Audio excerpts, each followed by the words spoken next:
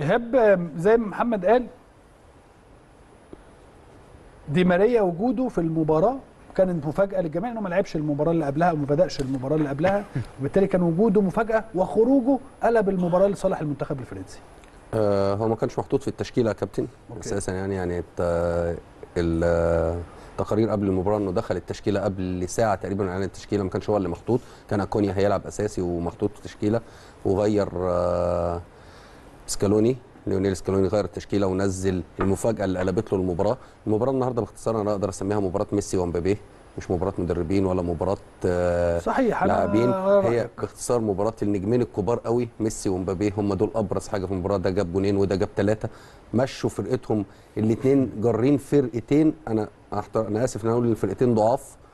يعني إيه، ال squad هنا وهنا رغم قوة ال squad الفرنسي ولكن في المباراة النهائية فرنسا ظهرت فريق ضعيف فريق آه لا فرنسا. ظهرت آه، وجهة نظري كالعادة وهو الناحية الدفاعية السيئة جدا جدا جدا للمنتخب الفرنسي. وجهة نظري.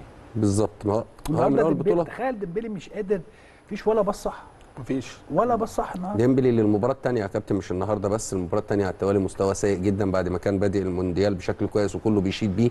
المباراة اللي فاتت قدام المغرب كان مش موجود تقريبا خالص. صح. والمغرب تلاعب كت- كتير بالمنتخب الفرنسي ولعب بالمنتخب الفرنسي. حتى جريزمان اللي الراجل اللي بيعمل هجمات كان بيلعب في قلب منطقته قدام الجون بتاعه بيطلع هجمات.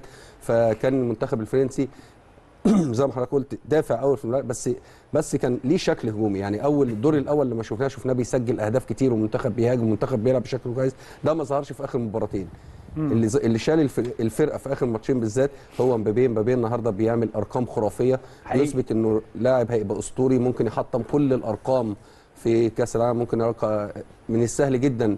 يعني السنين الجاية حطم رقم كلوزا الهداف التاريخي لبطولة كأس العالم. خلاص هو بقى 12 هدف دلوقتي جاب آه، 13 8 13 و4 12 عادل بيليه وصل 12 هدف حاليا. فخلاص خلاص بينه وبين 16 هدف بتوع كلوزا أربع أهداف.